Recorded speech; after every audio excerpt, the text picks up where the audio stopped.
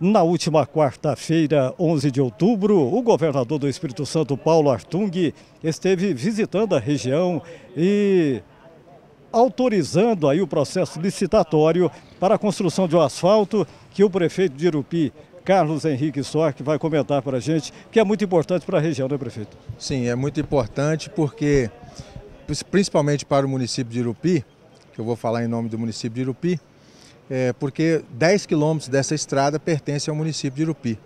E hoje, por coincidência, Valdir, a gente estava conversando com o governador e demos uma paradinha, não sei se você viu no trajeto, estávamos mostrando para ele a área em que nós vamos construir a represa, né?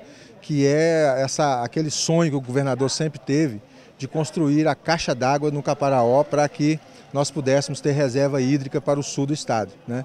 E ele ficou muito entusiasmado, gostou muito da, do local e com certeza a obra já está, o projeto já está licitado e nós estamos concluindo o processo de desapropriação daquela área para nós construirmos essa represa que vai ficar bem à margem da, da rodovia. Inclusive essa questão hídrica é uma preocupação de Irupi para o futuro, né, prefeito? Exatamente. Nós acabamos de passar aqui sobre o rio do, é, de Pedra Roxa e vimos que é, está com pouquíssima água, né?